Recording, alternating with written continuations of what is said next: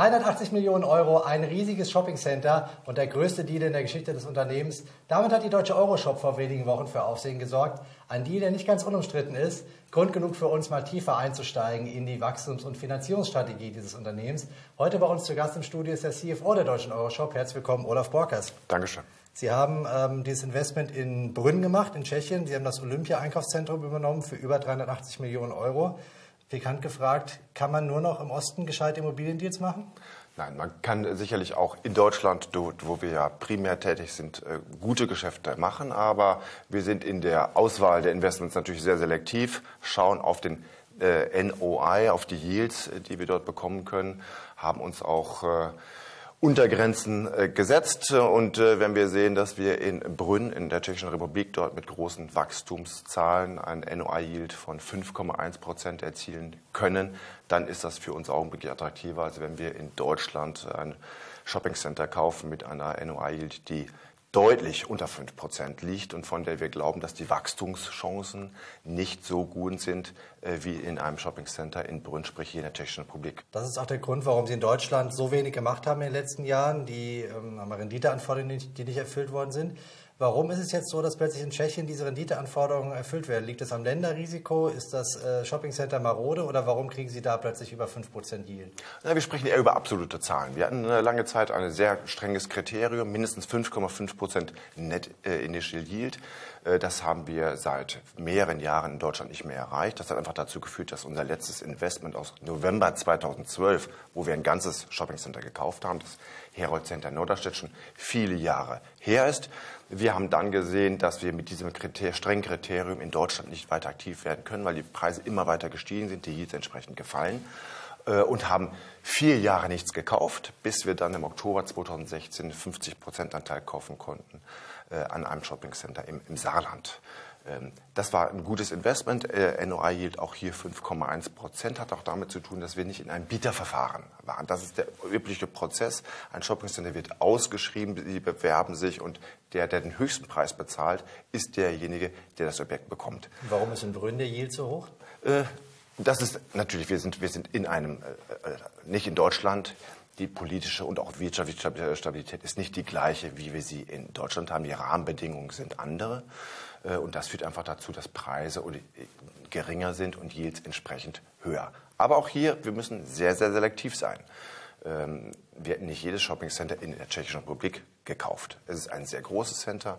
Die Wettbewerbssituation ist begrenzt und wir sehen aus der Mieterstruktur, äh, dass wir dort auch in den nächsten Jahren Wachstum erwarten dürfen. Sie haben fast die Hälfte des Kaufpreises äh, über eine Kapitalerhöhung refinanziert. Gerade vor dem Hintergrund dessen, was Sie gesagt haben, dass Sie kaum Investments finden, hat das bei manchen Investoren für Stirnrunzeln gesorgt. Warum haben Sie Ihre Kasse wieder so voll gemacht, wenn Sie kaum M&A-Aktivitäten machen? Hm. Für uns ist es eines der größten äh, Investment. Der Kaufpreis war 375 Millionen Euro. Sie haben es gesagt, das Gesamtinvestment 382 Millionen Euro. Äh, ein solches Investment rein fremd zu finanzieren, wie es möglicherweise unser Loan-to-Value, sprich unsere Bilanz erlaubt hätte, wäre denkbar, würde aber das Risikoprofil für dieses Investment äh, und auch für die Gesellschaft verändern. Sie wissen, dass wir grundsätzlich jedes Investment mit etwa 50 Prozent Eigenkapital, 50 Prozent Fremdkapital finanzieren. Hier sind wir ein bisschen mutiger gewesen, haben mit 60 Prozent Fremdkapital und nur 40 Prozent Eigenkapital gearbeitet. Ähm, aber aus der Finanzierungsstruktur heraus, die immer noch sehr konservativ ist, glauben wir, dass wir hier nach wie vor ein konservatives Investment haben und dafür eben auch Eigenkapital eingeworben haben. Jetzt äh, wird sich Ihre Bilanz wahrscheinlich noch ein bisschen verbessern im Laufe des Jahres. Eine Wandelanleihe wird fällig über 100 Millionen Euro, die, so wie es aussieht, ziemlich sicher gewandelt werden wird. Ähm, das ist ja im Prinzip eine Form der Kapitalerhöhung, die hätten Sie ja eigentlich auch abwarten können. Beziehungsweise anders gefragt, wenn jetzt im Herbst der Wandler gewandelt wird, dann haben Sie auf einmal zu viel Equity in der Bilanz, oder?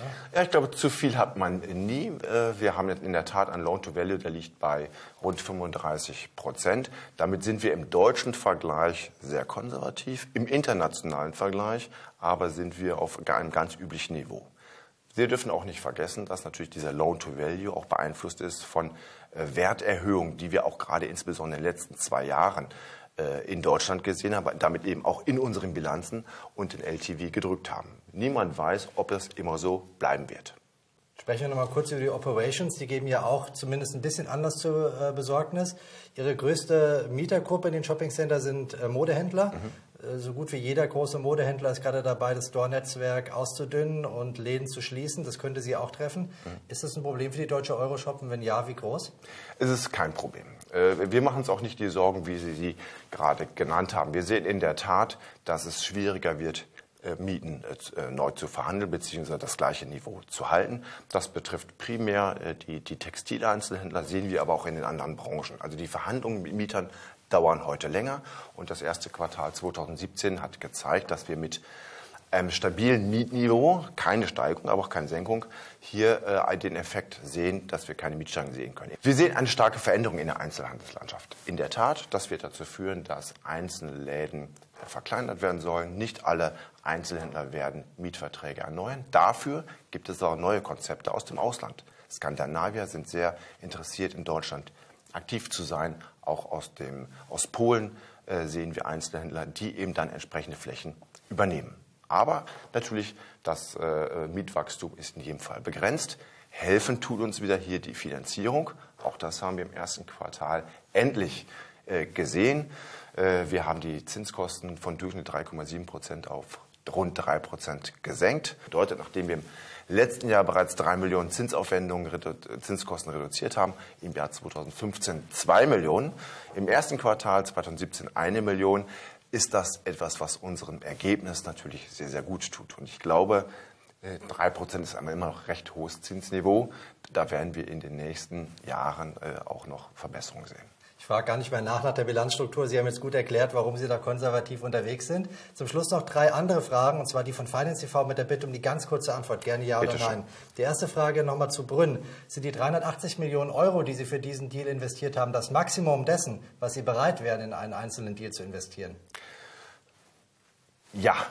Die zweite Frage, ist der Olympiadeal ein Signal dafür, dass Sie in Sachen Neuinvestments offensiver geworden sind als in den vergangenen Jahren? Nein. Und die dritte Frage, hoffen Sie auf eine Zinswende, um wieder an bessere M&A-Gelegenheiten heranzukommen? Nein. Aber dann kann man ja erwarten, dass es bei Ihnen so ein bisschen weitergeht. Ab und zu ein größerer Deal, aber immer mit Vorsicht und dem Fuß über der Bremse. Danke, dass Sie uns ein bisschen Einblick gegeben haben, Olaf Borkers. Danke Ihnen auch fürs Zuschauen. Das war's für heute bei Finance TV. Nächste Woche starten wir wieder mit einem CFO-Interview. Dann ist äh, Thomas Töpfer da von Kion. Der spricht auch über M&A-Finanzierung und was sich sonst so tut bei dem Unternehmen. Schauen Sie rein, wir würden uns freuen. Bis dahin eine gute Zeit. Bleiben Sie uns gewogen.